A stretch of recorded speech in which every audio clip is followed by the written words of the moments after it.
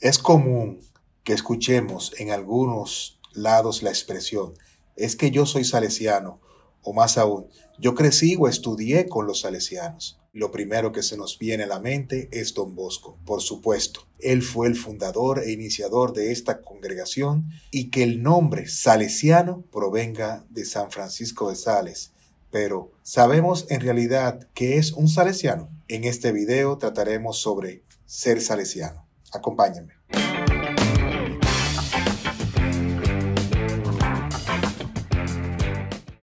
¿Qué tal jóvenes? Sean bienvenidos a una nueva experiencia en este salón de clases.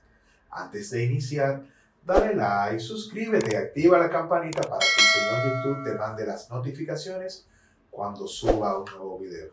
Ahora sí, comencemos. Los salesianos somos una congregación de religiosos que pertenecemos a la Iglesia Católica, misma que fue fundada en Italia por San Juan Bosco.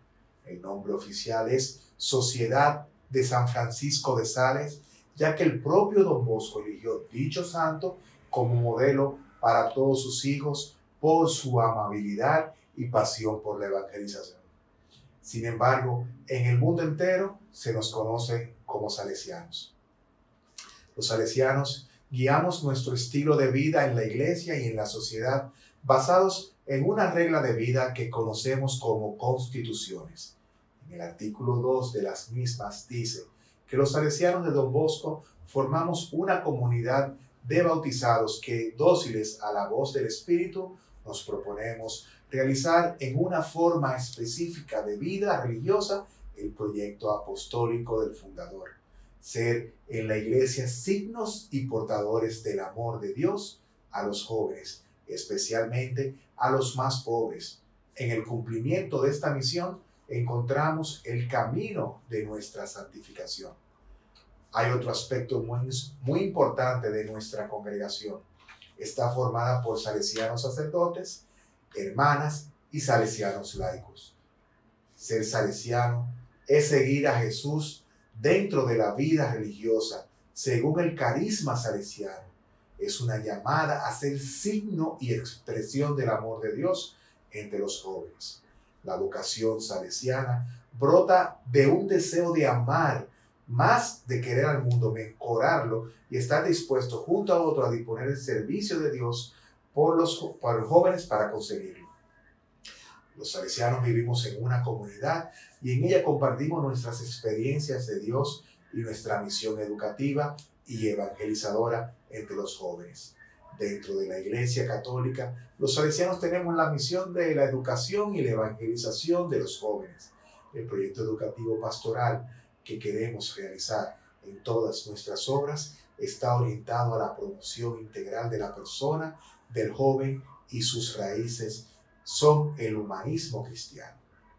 En las constituciones podemos leer, fieles a los compromisos heredados de Don Bosco, somos evangelizadores de los jóvenes. Tenemos cuidado especial de las vocaciones apostólicas, somos educadores de la fe en ambientes populares, sobre todo con la comunicación social y anunciamos el Evangelio a los pueblos que creen, que no creen.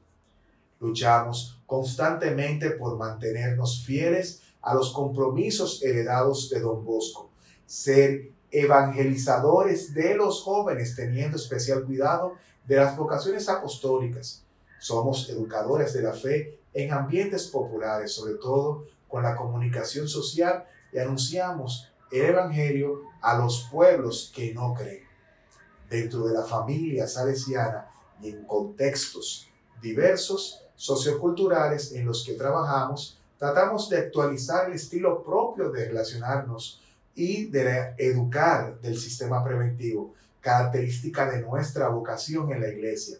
María, madre y educadora, es quien inspira esta misión. En las que estamos presentes, con formas diversas, expresamos la predilección por los pequeños y los pobres, vividas según el espíritu del Damini Anima Cheteratole. Y del a ti te los confío siguiendo las palabras de Jesús. El que acoge a uno de estos pequeños en mi nombre, me acoge a mí. Como ya les he dicho, La congregación está formada por dos tipos de salesianos, los religiosos, las religiosas y los laicos. Los salesianos clérigos son todos aquellos que están al servicio de los jóvenes a través del ministerio sacramental. Puede ser como diáconos permanentes o como sacerdotes. Por su parte, las, los salesianos laicos son todas aquellas personas que también se dedican al servicio de los jóvenes, pero desde el estado laical, como hermanos e entre hermanos. Dentro de este grupo podemos encontrar diversas formas de la gran familia salesiana, hombres, mujeres, niños, jóvenes, adultos, con diferentes estilos de vida que conforman el movimiento salesiano, teniendo todos el mismo objetivo de Don Bosco, salvar a la juventud. La fundación de las tres principales grupos de la familia salesianas por Don Bosco obedeció a respuestas que el santo educador de Turín daba encontrando eh, a los apostolados. El primer grupo fue el de los salesianos fundados en 1859 con una doble dimensión, los sacerdotes y los coautores o laicos consagrados para la santificación y educación de los muchachos más necesitados, como una respuesta de hacer dicho compromiso extensivo a las muchachas, Don Bosco fundó junto con María Dominga Mazzarello las hijas de María Auxiliadora en el 1872 también conocidas como las Hermanas Salesianas. Estos dos primeros grupos tenían que ver con una oposición, opción religiosa por Don Bosco. Soñaba de que el carisma educativo guiado también por las personas que se sintieran unidos a su mismo espíritu, aun si no sentían una vocación religiosa como sacerdotes, hermanos o hermanas, eh, para ello fundó la tercera orden a lo que llaman los salesianos externos, es decir, los salesianos cooperadores, fundado en 1876. Los tres grupos se unen a la figura de Don Bosco como inspirador del sistema preventivo salesiano.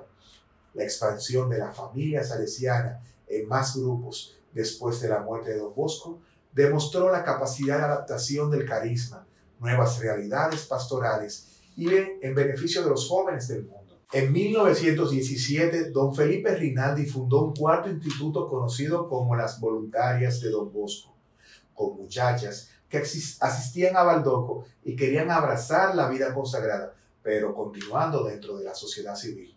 Sería uno de los primeros institutos seculares cuyo reconocimiento oficial por parte de la Iglesia se daría con el Papa Pío XII en el 1947. Primero se llamaron Oblatas Cooperadoras de San Juan Bosco, pero después adoptaron el actual nombre en 1964. Fueron aprobadas por el Papa Pablo IV en 1978. Don Rinaldi dio forma también a la Asociación de Exalumnos Salesianos en 1917, gracias a la iniciativa de un grupo de antiguos alumnos del primer oratorio eh, de Baldoco, y su origen se traza en la antigua visita que Carlo Gastini, exalumno, hizo con otros compañeros a don Bosco el 24 de junio de 1870 para agradecerle cuánto había hecho por ellos como muchachos.